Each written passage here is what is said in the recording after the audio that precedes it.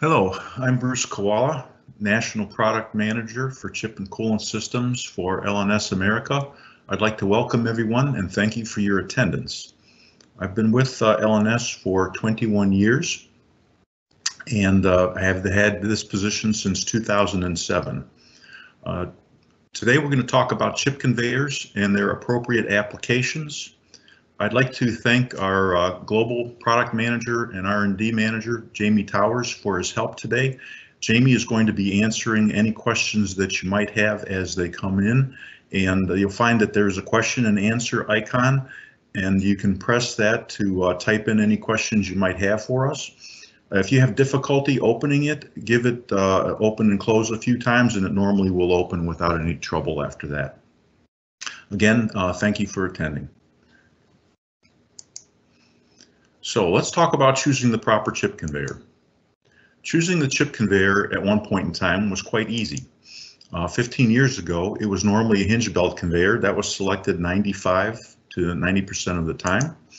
Today, our figures show that number has dropped to 50% and often that 50% is uh, misapplied. Here's the lineup of our chip conveyors that you see at the bottom of the screen starting from our uh, non-filtering conveyors, which is the hinge belt and the magnetic on the left.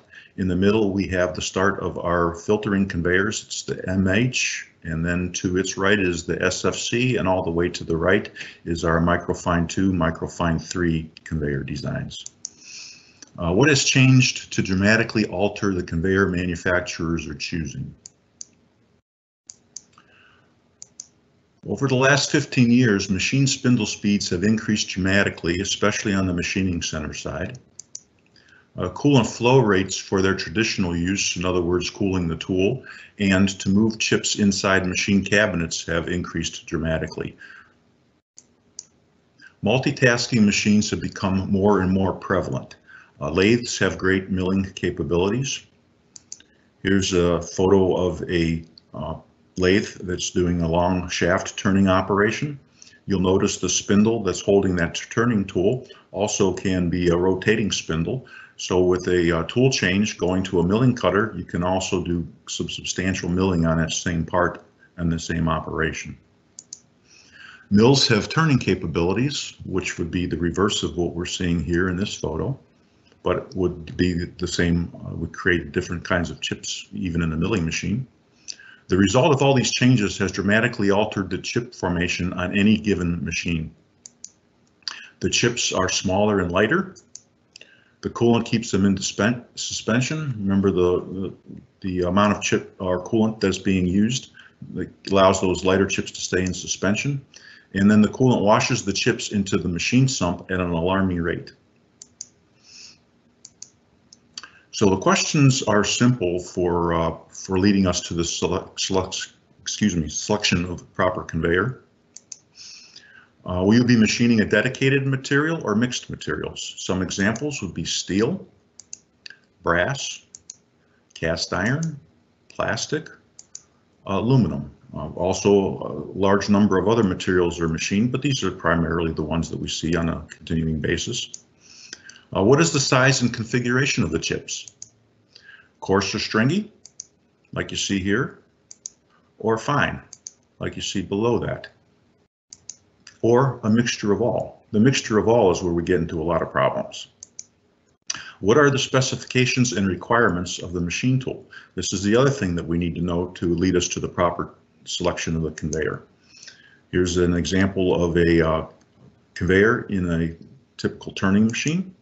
The coolant flow we need to know for all the pumps. Again, flow rate is critical. The conveyor pocket design is something that we need to know. How much room do we have to actually fit the conveyor? And horsepower is the final consideration. The reason horsepower is important is we have different grades of chip conveyors uh, for the different amounts of horsepower that we see. If we have a high horsepower machine, we want to put a super heavy duty conveyor in it. Uh, that's another reason why the conveyor pocket design is important. Sometimes we don't have the room for it, so we have to know all of those factors in order to get us to the right uh, conveyor selection. So let's talk about hinge belt conveyors first. Again, those are about 50%, so we should cover them. And this is what the hinge belt conveyor looks like. Uh, it's still the most popular. It's versatile, it's affordable, it's very reliable, and again, it needs to be used in the proper application. It's good for coarse and stringy chips. Here's some stringy chips that are on a chip stripper bar that's located underneath the uh, conveyor uh, discharge area that have been pulled off of the belt. And it's also good for those larger sixes and nines. It is not good for fine chips. Fine chips will stay in suspension and wash right out of this conveyor because again, it's not a filtering conveyor. Uh, next, we'll talk about our magnetic conveyor selections. Here's our uh, magnetic conveyor. This is a slider face magnetic. There's a stainless steel slider face that goes from the tail of the conveyor all the way up the incline to the discharge. It's the best choice for broken ferrous chips because it's magnetic. They have to be ferrous, obviously. Chips have to be broken because we don't like to see long stringy chips on there that tends to break the magnetic field and then does not allow us to pull the chips out of the uh, machining process. It's ideal for cast iron. Cast iron always machines broken, so it's great for cast iron. Obviously, it's also ferrous, so it's a really good selection for magnetic conveyors. It does not offer filtration. Uh, typically, it does a really good job pulling the ferrous chips out of the process, but anything that's non-ferrous will wash out. And uh, what I mean by that is a lot of times in cast iron, you'll see materials like graphite, a little bit of sand get in there because they're not magnetic. They will stay in suspension and wash through. Because of that, in many applications, you see additions of uh, cyclonic filtration in the coolant tank and also uh, or also bag filters. Uh, this allows for the uh, removal of the non-magnetic materials out of the coolant, keeps the coolant life nice and long. Here's uh, the inside of the magnetic conveyor. This is what you see underneath the slider face. So basically you have magnet sets that are spaced at a, at a pitch. Uh, typical pitch is 12 and a half inches. These uh, mag magnets are riding right underneath the slider face, being pulled by the drive motor that you see here. The drive motor is attached to the drive shaft. The drive shafts have sprockets at both sides, which interface with these chains. The chain is pulled by those sprockets as they're rotating. That takes this magnet set and pulls it along just underneath the slider face. Any of the ferrous chips that get attracted to that magnet are then dragged along up until we get to the discharge area. When we get to the discharge area, the magnet pulls away from the slider face that eliminates the pull of the chips and then the chips drop into the chip hopper. So that's how the uh, magnetic conveyor moves the chips along.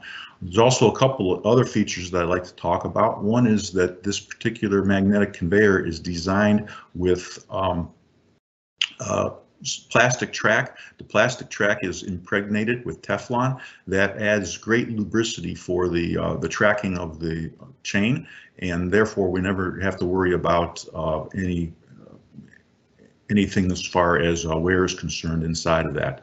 Also, there in this uh, rectangular shaped housing that you see down here at the end, there's a uh, die spring, and that die spring is putting tension on the back end of the chain. So even as the chain wears, it stays in constant tension. So we really don't have to worry about maintenance on the magnetic conveyor. Now let's talk about filtering conveyors. Filtering conveyors come in three basic types. We have our MH conveyor, which is uh, what you see here, the SFC, and also the microfine 2, microfine 3. And that's would, would be on the right hand side. So those are our three basic uh, setups for filtering conveyors. Uh, the selection is based on filtration level and price point. So let's talk about filtration level first. How do we as a company decide what kind of filtration level is best to recommend for you? First of all, one of the things that we encourage is that you send us a chip sample of the chips that are getting into your coolant tank. With the chip sample, uh, we are able to put those under a microscope that we have at our facility in Kings Mountain, North Carolina, and that microscope generally will lead us to the proper selection of the filtering conveyor. Uh, here you see a one millimeter gap and a couple of small and a larger chip that are located underneath the microscope. In, in addition to that, we also have a nice slide that we use which really tells the tale. And in this case, we have um, three different sizes of dots that you see here. The yellow dot represents our size of our 500 micron filtering material. The blue dot is our 250 micron filtering material, and the red dot is our 50 micron filtering material. So these dots are, uh, we're able to move these around and actually impose them on top of the chips that we get from your sample. And in this case, you can see the three dots that are uh, in alignment to this particular chip. And in this case, you can see that the width of this chip is um, smaller than the 500 micron filtration media. It's smaller than the 250 micron filtration media, but the 50 micron would actually block this chip from getting into the tank side of the uh, process. Uh, here you see a couple of additional ones here showing that the uh, 250 would not block the chips, but the 50 micron would. So with the uh, with the chip sample and the analysis, it generally gets us to where we need to go as far as what filtration level to recommend for you. We also consider price point. Uh, in many cases, a, uh, a part that you're uh, machining, you, you, might not be able to get enough money for you to use a, uh, very expensive uh, capital equipment to take care of the um, uh, situations. So in those cases, you might use a vertical machining center versus a horizontal machining center, for example. Uh, because of the lower price point of the vertical machining center, um, you might want to save some dollars and go with a lower cost uh, filtering conveyor. In this case, we, we offer the MHs. That gives you a good um, a, good filtration level, but also gives you a good price point. So and oftentimes it gives you a better ROI in those cases. So that's why we have so many different choices for you. Uh, this is a graph showing the price points of the various conveyors, starting with the lowest price on the MH500 going to the 250. And you'll notice that the uh, SF Compact slots right in between the MHs and the uh, microfine 2s and 3s. So uh, this is often a good choice if you have a little bit lower price point, but you still need 50 micron filtration. Let's talk about the MH500 and the MH250 for a minute. Uh, there's what the product looks like. It's our lowest price point filtering conveyor again. It offers both the 500 and the 250 filtration levels. Uh, it does have interchangeable boxes that provide that filtration level. So if you do have a situation where maybe you purchased a MH500 and down the road your uh, application changed and you're making finer uh, chips and you want to have a little bit finer filtration, you can replace those boxes to the 250. For the uh, 500 uh, micron level, the actual filtration media is a punched stainless steel sheet. For the 250 micron media, because those holes are so small, we can't punch them, so we used an etched stainless steel material.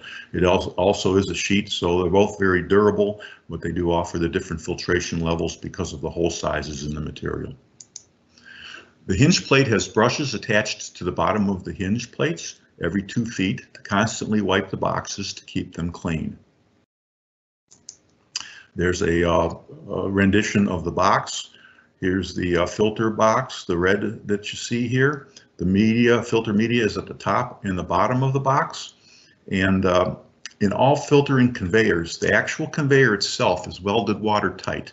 So the only place for the coolant to go from the uh, machining area back into the coolant tank is through the filter media. As that coolant is, is flowing through the filter media, any small chips that are that stayed in suspension get trapped on top of the filter media and those have to be cleaned on occasion. So what we have again every two feet uh, is a brush assembly the brush assembly uh, consists of aluminum extrusion that a brush is placed into. The end of the extrusion is crimped and that allows the brush to stay in place. As the hinge belt itself is removing the large chips from the operation, these brushes are moving along on the underside and they're scraping the fine chips off of the filter media and getting the box clean. So again, that happens every two feet. Because we have filter media at the top and the bottom, we also have to clean the bottom filter media off. So as the belt's moving back towards the tail, these same brush assemblies are actually doing the same thing on the bottom side of the box, keeping them both clean. So that's the way we um, we keep the filter me our filter media clean, and it's self-cleaning. Uh, continuously happens during the uh, operation of removing the chips. Now you might ask yourself what happens to all those fines that get accumulated in between the belt flights. Well, we have a specially designed hinge plate that opens to uh, allow those uh, fines collected to uh, have a place to escape. Uh, this is our live link. It's called a live link. This is patented, and this allows for a nice opening to occur on the hinge belt itself. You'll notice that the live link is fairly heavy. So when the live link is on the upper flight of the belt, it's staying down. It doesn't allow the larger chips to get through into the middle of the belt flights. But as it goes around, gets to the discharge area and comes back down, Gravity allows the live link to pop open, giving us this nice large area to get the fines out from between the belt flights. So keep in mind that the fines are kind of staying in suspension. They've been um, stirred around by the coolant, by the movement that's inside there from the belt, etc. So as they stay in suspension, they eventually work their way into this slot. A couple of hinge plates down from this slot, we have a special wiper cleat that has been developed, and the wiper cleat will actually scrape those fines uh, along the bottom of the conveyor around the curve. When those fines get again to the top flight of the belt, now they have a way to get over to the discharge, and the next time um, those fines get to that discharge, gravity will drop them off into the chip hopper. So that's how we get rid of the fines. Now let's talk about the SF Compact. Uh, there's a view of the SF Compact. This is our, our most recent development. It's our lowest price point, 50 micron filtering conveyor. It takes up the same amount of space as a normal hinge belt or as an MH, thus the name compact. It uses a mechanical brush system on the inside of the filter boxes to keep the filter media clean. This is what the uh, mechanism looks like. There's a uh, pneumatic cylinder that's located in this housing. This is the housing itself that you see at the uh, incline of the conveyor. That mechan that uh, uh, that cylinder strokes back and forth. It's attached to a uh, shaft. That shaft is attached to um, mechanism that's located, basically a cable that's located on the inside of this conduit that transfers the motion from, uh, from the incline around the lower curve. It's attached then again to another shaft and those shafts are attached to uh, brush mechanisms that are on, on the inside of the box. Here you see the brush uh, mechanisms, these yellow lines. Sorry, that's not a little bit larger, but you, you get the idea. So as the uh, as the cylinder is stroking back and forth, these brush mechanisms are stroking back and forth, and that allows for the inside of the box to be physically cleaned. Also, this is down in the coolant pool, so because it's in the coolant pool, it's actually creating a wave as it's moving back and forth, and that wave is actually back flushing the filter media. In the case of these boxes, because we have the finer filtration level, we are actually using a woven stainless steel material versus the punched or the etched material on the MH. And it's a nice tight weave, so we're getting the um, filtration down to 50 microns. Uh, uses uh, external brushes too. There's a couple of external brushes located uh, like you had on the MHs uh, on a couple of the uh, bottom sides of the hinge plates. Uh, because of the internal brushes, we don't need that many, but we, we, do have a couple of them and that'll keep the outside of the box filter material clean as well.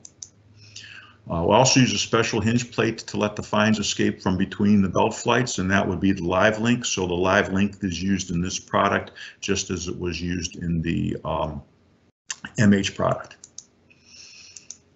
Uh, now we can talk about the microfine 2 and 3. There's the microfine 3. It's the highest price point filtering conveyors that we make, again offering 50 micron filtration. Both designs are the same with one difference. Uh, the bottom of the lower conveyor of the microfine 2 goes under the upper conveyor, locking in the space needed to uh, fit the conveyor to the machine. So since this is a microfine 3, if it was a microfine 2, you'd actually have a portion of the lower conveyor coming underneath the upper conveyor, and that locks in the level that we can place the upper conveyor to the lower conveyor. So the microfine 3 bottom uh, does not go under the upper conveyor, and that allows more adjustability to fit in the uh, in, in into a lower profile that we might have on a machine tool. So that gives us a little adjustment here. We do have to be careful because of uh, coolant flow, but um, if we do need the space and uh, coolant flow is not the, the issue, we do have the ability to move this up and down. The upper conveyor is a hinge belt to take away uh, heavy the heavy chip loads. And uh, again, uh, being filtering conveyors, these are all welded watertight. The uh, lower conveyor is a scraper with a drum filter providing 50 micron filtration. That drum filter is actually behind this housing and the drum filter is back flush to keep it clean. The uh, plumbing that you see here is uh, for the uh, coolant flow into the that back flush mechanism. The uh, This is what the drum looks like on the inside there. Uh, you see the sprockets on the outside, those uh, mate to the, the belt for the lower conveyor. And as the lower conveyor belt is moving along, it's rotating the drum. And as the drum rotates, uh, there's the spray bar that you see. Again, that spray bar is attached to this plumbing. It's forcing coolant to hit the backside of the filter media, which is flushing the filter media and keeping it nice and clean. And the rotation of the uh, drum allows for the filter media be, to be cleaned all the way along the 360 degrees. Uh, because the size of the dual conveyor design, a replacement coolant tank is normally needed. So the MH and the SFC conveyors have the advantage of normally fitting in the standard machine conveyor pocket. Uh, because the microfine 2 and 3 are larger, they require a little bit more room, therefore they normally require a tank. And this is a uh, representation of that. Here you see a typical turning machine. You see an MH or an SFC fitting in the normal conveyor pocket. And you see the Microfine 2 or Microfine 3 with the extension that we need for the lower conveyor. We normally have to provide a larger tank to uh, allow that to fit in. Um, the final consideration I'd like you to think is eliminating the need for indirect labor to move chips in a manufacturing facility. A good solution is our uh, 3D disk conveyor system. Uh, it moves broken chips in, um, in that manner. This is a, a drawing uh, represents all of the different combinations that the 3D can actually be used. What you have is uh, here is, shows a large double column machine. You see a 3D system wrapped around it. It's taking the chips and dumping them into another 3D system that you see over here, servicing these three machines. Uh, this 3D system is obviously in a trench. Here, this 3D system is at floor level, so we can trench it, or it can be at a floor level. In this case, three, these three machines are being serviced as well as the double column machine, and that's taking chips uh, overhead where we can clear the aisles for the plant and into a uh, trunk line and that trunk line is then depositing the chips to a uh, single discharge location. Here you see a, a, representation of another line of machines down this way and here we're taking uh, the, in the same situation over to the trunk line for the single point discharge. In this case this is trenched as well. So uh, they, can, they can be above uh, ground, it can be at ground or it can be below ground good versatility in 3D. This is how the chips are moved inside of uh, the 3D pipe. So basically we have a chain. There's discs that are welded at pitch distance uh, to that chain. And as the chain is being dragged through the pipe, the, uh, the discs are actually dragging the chips along with them. Uh, we have different size uh, pipes starting at four inches uh, going up to 10 and uh, the size of the pipe will be determined by the amount of the chip load that we have to move. So the 3D system is a versatile conveyor to provide a single point of chip discharge over a long distance. And uh, this is actually a installation that we've done. Uh, here you can see that it is actually a uh, in a pit and uh, or trough, and there's the coverings for them, which is uh, taken off, so you can see what the what it looks like down in there. And uh, here's that line in the facility. Here you see some very large um, milling machines that were doing aluminum. Uh, they're being discharged here uh, from standard conveyors into the 3D system. This is a view from the other side of the plant where you have that really long uh, distance that this 3D system is covering, and that's dumping into another trunk line that's in a pit, which is then taking the chips out of the plant into that single discharge point. You know, you might ask yourself, well, why didn't we wrap this around and bring it on up? Uh, we could do that, but in this case, this particular uh, line was uh, was too long. So if we do have a situation where we have uh, too much length, then we'll, we'll daisy chain these things together and uh, uh, solve the problem in that manner. So that ends my presentation. Uh, I'm going to give you some contact information. If you think of a question maybe afterwards or might want to talk to us about something, feel free to uh, call my cell phone. That's my cell number, 513-256-4041, or feel free to reach me at my email address. That's uh, bkoala at lns-northamerica.com. Um, I'd also uh, like to thank Jamie Towers again for his help in answering any of your questions that you have today. And I'd ask Jamie at this point in time if there's uh, any questions that maybe he couldn't get to or something that we might have to uh, elaborate some more on. Jamie, you there? Hey, Bruce. Uh, yeah, a couple of good questions here for you. Um, first of all, uh, Johnny was asking uh, what kind of conveyor would be recommended for plastic applications? Plastic applications are, are difficult. Uh, it depends on the plastic. In general, we would normally recommend either a uh, standard hinge belt conveyor or an MH conveyor. They work generally best in plastics. Plastics are usually machined in very uh, a very stringy manner, and uh, sometimes they have some some fines. And we've had good success with uh, with the MH when we do see some fines. And if it's just stringy, then uh, the hinge belt works very very well. Thanks, Bruce. Uh, another question for you. So, do you see coolant foaming issues with the Microfine 2 or the Microfine 3? Uh, we, we have seen coolant foaming issues on both of those products in the past. Typically, when that happens, the uh, backflush pressure on the backflush mechanism is uh, is set too high, and so as the uh, spray is atomized through the filtering material, it creates the uh, foaming issue.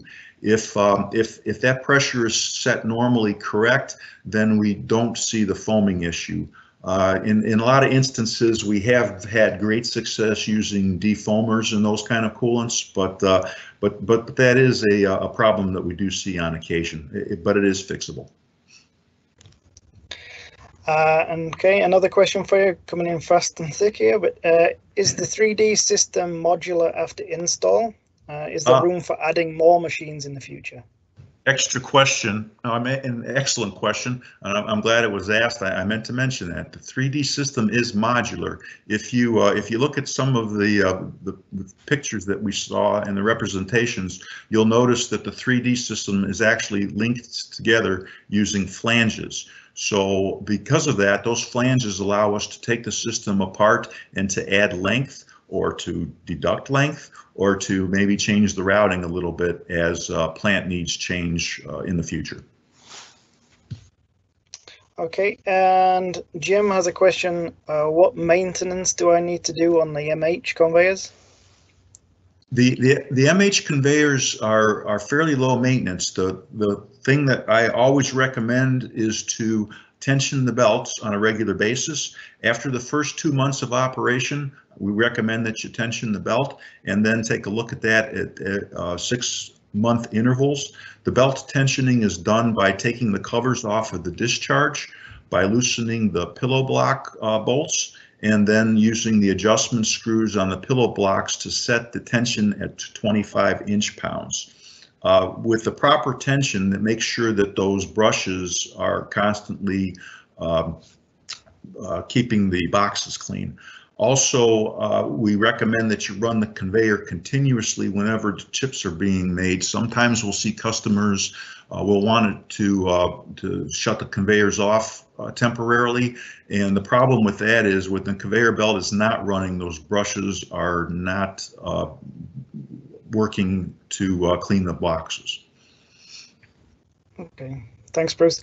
We've got uh, a lot of different questions coming in, but uh, I think we could be here for quite some time if we go through them. I think it's probably better if uh, the rest of them you can take uh, take separately afterwards. But That uh, sounds good. Those. All right, I'd like to thank everyone again for attending today. We appreciate your time and appreciate all of the questions, and hopefully uh, you found this valuable. Thank you very much.